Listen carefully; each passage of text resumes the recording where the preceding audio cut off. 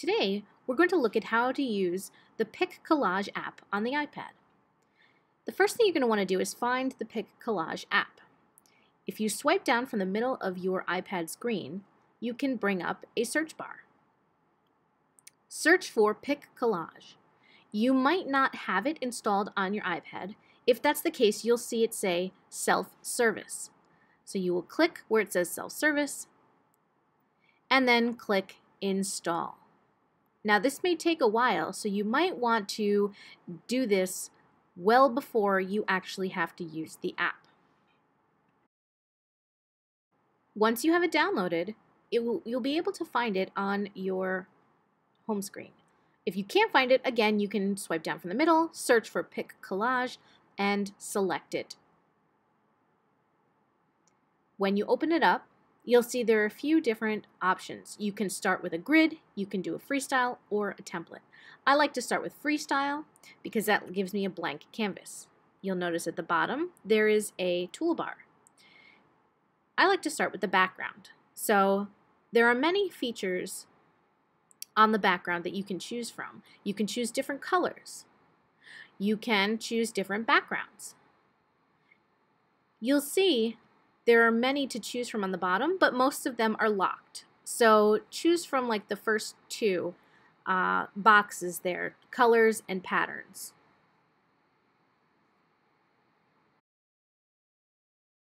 Next up on the toolbar is Photos.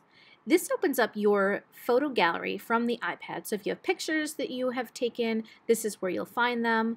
You can also take screenshots of documents uh, that you have worked on and put them into your photo album and then you can click as many as you'd like to select. So I'm going to select these three for example. They open up on my pic collage.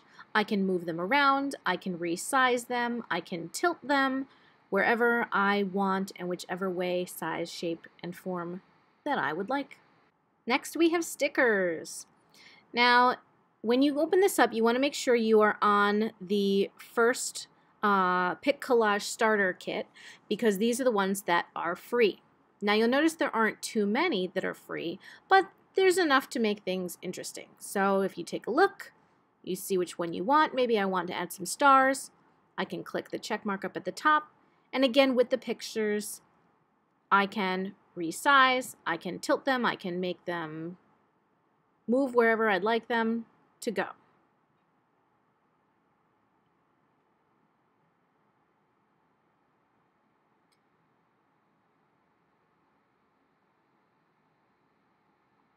Next up on our toolbar, we have text. So if I click on that, I can add text directly to the pic collage, whatever I'd like to write. So I would type in what I would like to say. And then if you look over on the right hand side, you'll see there are a few things I can change. I can change the font by clicking on that T. There are a bunch of fonts that are available free in Pic Collage. So scroll through. Again, if you start scrolling too far, you might see the ones that have the little crown on them. Those are for VIPs, which cost money, so don't worry about those.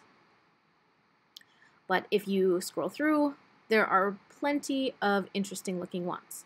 You can also, on that toolbar, change the color of the words or you can change the color of the background of the words. So if you look on the bottom or all the way to the left, there's two different uh, letter A's. The one on the bottom changes the background, which is what I'm doing here. And the one on the top changes the color of the font itself. Now, if you click the three little dots on the toolbar there, you can change the alignment. You can make the words stay to the left, to the middle, or to the right of that box. You can give it an outline. You can change the size and the width here.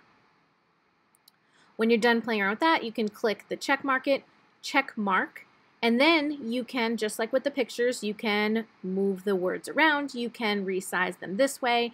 You can tilt them, put them wherever you would like. Next up on our toolbar is the web image section. So if you click on that, you'll see a image search. So I'm really in the mood for some hot chocolate right now, so I am going to search for pictures of hot chocolate.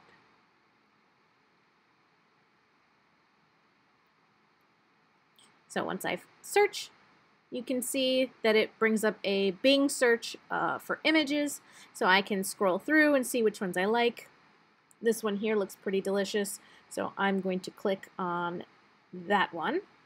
You can also add GIFs. So again, if you search, you can click on it. Of course, I'm going to add cats because who doesn't love cats? And just like with the pictures from your photo gallery, you can resize, you can tilt, you can move them around wherever you would like. Next up is Doodle. So if you click on that, it allows you to doodle right on the pic collage. So as you see, there's a whole array of colors. There's also a uh, little bar on the bottom. That you can change the thickness of the pen. So I'm going to choose the black ink for right now, and then I am going to start using my hand to draw. Now, sometimes it's a little difficult to read if you're trying to write words. If you make a mistake all the way to the left, you can see there is, um, oh, there's that scroll bar that you can see. You can change the size. All the way to the left, there's a little eraser. You can erase what you don't want, and then you can go back in and try again. I'm going to try to be a little neater this time, especially with that A. All right.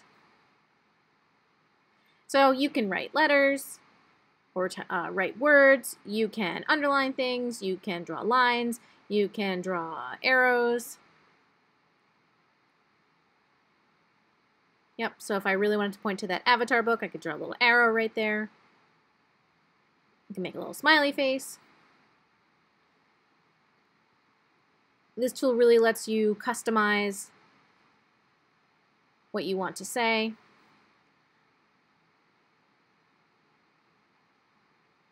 And I was going to put an exclamation mark there, but uh, the toolbar got in the way a little bit, so maybe don't go too close to the bottom. When you're finished, go up to the top right and click the check mark, and that finishes the doodle. If you want to go back into something, you can double click on it and it opens up a menu. Last thing, animation. If you want to, you can add animations. They have center, 3D, drop, wiggle, spread, pulse, etc. This makes the items in your pic collage move and it will turn your final product into a little video to include that animation. Uh, however, if you're trying to send it as a still frame, uh, it won't include the animation, obviously. When you have completely finished and you're ready to send it, you click Done. You can click Save to Library, and that will actually uh, save it to your camera roll, which I'll show you momentarily. Or you can try to click the copy link. I was having issues with that. Um, it was taking a really long time. And again, it says this animated collage can only be shared as a still image. So if you copy the link, it won't give you that animation. So my recommendation is to save it to the library and then upload it to Schoology or however your teacher would like you to send it to them. Otherwise, you might be waiting here for a very long time. And just to show you really quick, if you uh, click the home button and then go into your photos, you'll see there's a new folder called Pic Collage. And if you click on that, you can open it up and you'll see there is your little um, pic collage. Now mine is animated because that little cat gif moves around. Um, but if yours is a still frame, it may will probably just be a picture. Now again, at this point you can share it uh, however your teacher wants it shared. Or you can take a look and it will be in your camera roll as well either as a little video if you have something animated or as a just a picture.